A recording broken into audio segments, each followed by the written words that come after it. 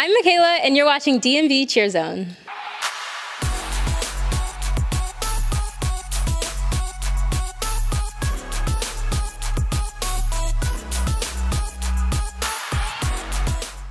Hello, my name is Makayla, and I am a varsity coach at the Fairfax High School. So Kylan and I are both first year coaches, and we just took over the program a few months ago. It's been a lot of fun to just join the Fairfax community and to get back into cheer both Kyler and I cheered um, middle school, high school, competitive all-star, and then again in college. So when we had the opportunity to get back to cheerleading, we jumped at it. Great, so to get ready for our season, the big thing we did was our, have a choreography practice, and that was a full day practice where we got them to learn to routine and the cheers to make sure we were ready for comp.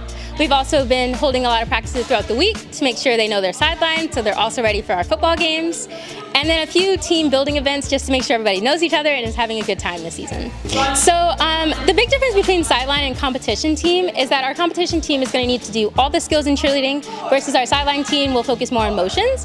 The competition team is expected to do tumbling, stunts, cheer, jumps, and basically everything you encompass in a cheerleader all packed into 2 minutes and 30 seconds, whereas our sideline team will only have to remember the cheers and do motions at the game and just make sure they're full of spirit and ready for the games. So we are looking forward to both our homecoming game and senior night. That is a time where we get to really um, thank our seniors for their service. We do have five of them this year, so it's very exciting. And homecoming is also just a time to celebrate Fairfax High School and all the hard work that these seniors have put in to graduate this year. So we are trying to beat Woodson this year and just hit a really clean routine so that we can take home first at both district and regionals. I think one of the biggest things we're pushing towards our cheerleaders is to have confidence.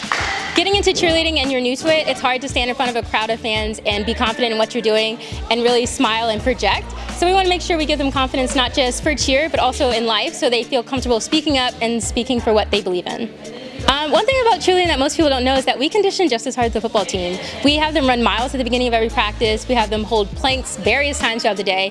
Anytime a cheerleader messes up, they'll do anywhere from 10 to 25 burpees. So it is a very um, athletic sport, and most people don't realize that. I'm Makayla, and you're watching DMV Cheer Zone.